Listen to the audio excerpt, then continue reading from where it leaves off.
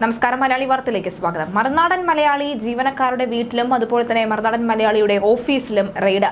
കേരളത്തിലുടനീളമുള്ള ജീവനക്കാരുടെ വീട്ടിൽ എല്ലാം പോലീസ് ഇപ്പോൾ ഇന്ന് രാവിലെ എത്തിയിരുന്നു. ജീവനക്കാരുടെ ബന്ധു വീട്ടുകളിലും പരിശോധന നടത്തിയിരിക്കുകയാണ്. മറുനാടൻ എഡിറ്റർ ഷാജൻ സ്കറിയയെ കണ്ടെത്തുന്നതിന്റെ ഭാഗമായാണ് ഈ റെയ്ഡ് നടക്കുന്നത്. നേരത്തെ തിരുവനന്തപുരത്തെ ഓഫീസിലെത്തി ജീവനക്കാരുടെ മൊഴി പോലീസ് എടുത്തിരുന്നു. ഓഫീസിൽ നിന്ന് ഹാർഡ് ഡിസ്കുകളും മറ്റും പിടിച്ചെടുക്കുകയും ചെയ്തു. മൊഴിയെടുത്ത് ജീവനക്കാരുടെ വീട്ടിലാണ് അർദ്ധരാത്രിയിലും പുലർച്ചെയുമായി റെയ്ഡ് നടത്തിയത്. സുപ്രീം കോടതിയിൽ ഷാജൻ സ്കറിയ മുൻകൂർ ജാമ്യത്തിനായുള്ള പ്രത്യേക അനുമതി ഹർജി നൽകിയിട്ടുണ്ട്. ഇതിന് പിന്നാലെയാണ് പോലീസ് ജീവനക്കാരുടെ വീടുകളിൽ റെയ്ഡ് നടത്തുന്നത്. ജീവനക്കാരുടെ കുടുംബങ്ങളെ ആശങ്കയുടെ മുൾമുനയിൽ നിർത്തുക എന്ന ലക്ഷ്യമാണ് റെയ്ഡുകൾക്ക് പിന്നിലെന്നത് വാസ്തവം. കള്ളക്കേസിൽ ജയിലിലാക്കി മറുനാടൻ എഡിറ്റർ ഷാജൻ സ്കറിയയെ വകവരുത്താനുള്ള ഗൂഢാലോചന ചില കേന്ദ്രങ്ങളിൽ നടക്കുന്നുണ്ട്. ഈ സാഹചര്യത്തിലാണ് നിയമ പോരാട്ടത്തിന് ഷാജൻ സ്കറിയ സുപ്രീം കോടതിയെ സമീപിച്ചത്. ഞായറാഴ്ചയായിട്ടും പ്രത്യേക അനുമതി ഹർജി സുപ്രീം കോടതി ഫയലിൽ സ്വീകരിക്കുകയും ചെയ്തു. ഷാജൻ സ്കറിയയുടെ എരുമേലിയിലെ വീട്ടിലടക്കം പുലർച്ചെ റെയ്ഡ് നടന്നു. സുഹൃത്തുക്കളുടെയും വീടുകളിൽ പോലീസ് പരിശോധന നടത്തി. കൊല്ലത്ത് ഷ്യാം എന്ന മറുനാടൻ മലയാളി റിപ്പോർട്ടർ പോലീസ് കസ്റ്റഡിയിലാണ് എന്നാണ് വിവരം പുറത്തുവരുന്നത്. എന്നാൽ ഷ്യാമിനെ മൊഴിയെടുക്കാനായി വിളിപ്പിച്ചതാണ് എന്ന് പോലീസ് വ്യക്തമാക്കി. തിരുവനന്തപുരത്ത് മറുനാടൻ മലയാളിയുടെ ജീവനക്കാരായ രണ്ട് പേരുടെ വീടുകളിൽ ഇന്ന് രാവിലെ പോലീസ് പരിശോധന നടത്തി. മരുതംകുഴി വലിയവിള എന്നിവിടങ്ങളിലാണ് പരിശോധന നടത്തിയത്. പട്ടത്തുള്ള മറുനാടൻ മലയാളിയുടെ ഓഫീസിൽ കൊച്ചിയിൽ നിന്നുള്ള പോലീസ് സംഘം കഴിഞ്ഞ ദിവസം പരിശോധന നടത്തിയിരുന്നു. P V Sreenijan M L എക്കെതിരെ നടത്തിയ അപകീർത്തികരമായ പരാമർശങ്ങളുടെ പേരിലാണ് കൊച്ചി സിറ്റി പോലീസിന്റെ നടപടി. മറുനാടൻ മലയാളി ചാനൽ മേധാവി ഷാജൻ സ്കറിയക്കെതിരെ അടക്കം എസ് സി എസ് ടി പീഡന നിരോധന നിയമം അനുസരിച്ച് കേസ് എടുത്തിരുന്നു.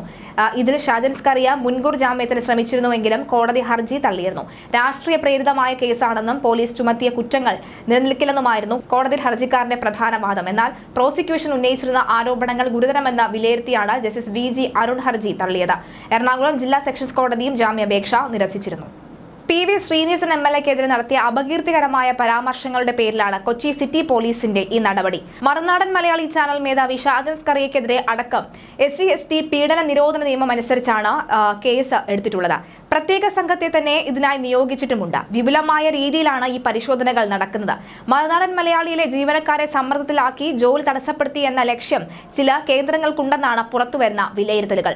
തിരുവനന്തപുരത്തും കൊല്ലത്തും വയനാടും കണ്ണൂരിലും കോഴിക്കോടുമെല്ലാം പോലീസ് വ്യാപക റെയ്ഡുകൾ നടത്തുകയാണ്. വരും ദിവസങ്ങളിലും ഇത്തരം റെയ്ഡുകൾ തുടരുമെന്നാണ് സൂചനകൾ പുറത്തുവരുന്നത്. മുൻകൂർ ജാമ്യം തേടിയുള്ള മറുനാടൻ എഡിറ്റർ ഷാജൻ സ്കറിയുടെ പ്രത്യേക അനുമതി ഹർജി സുപ്രീം കോടതി ഫയലിൽ സ്വീകരിച്ചത് കഴിഞ്ഞ ദിവസമാണ്.